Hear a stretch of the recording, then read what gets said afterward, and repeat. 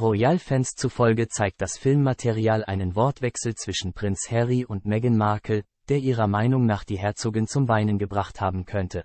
Königliche Fans haben behauptet, dass Prinz Harry Meghan Markle am 8. Juni 2019 beim Trooping The Color zum Weinen gebracht habe.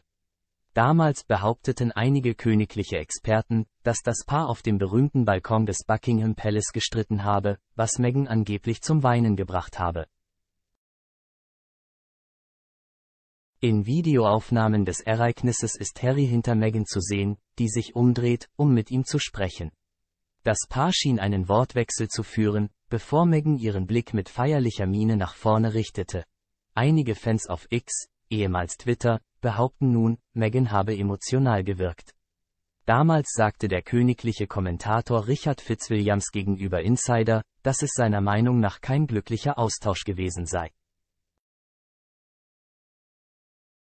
Er sagte, eines der wichtigen Merkmale eines königlichen Amtes besteht darin, dafür zu sorgen, dass öffentliche Auftritte reibungslos verlaufen. In diesem Fall scheint es sicherlich einen unglücklichen Austausch gegeben zu haben. Hoffen wir, dass es nichts anderes als ein Missverständnis war, aber der Balkon des Buckingham Palace ist nicht der richtige Ort, um auf solche Dinge aufmerksam zu machen.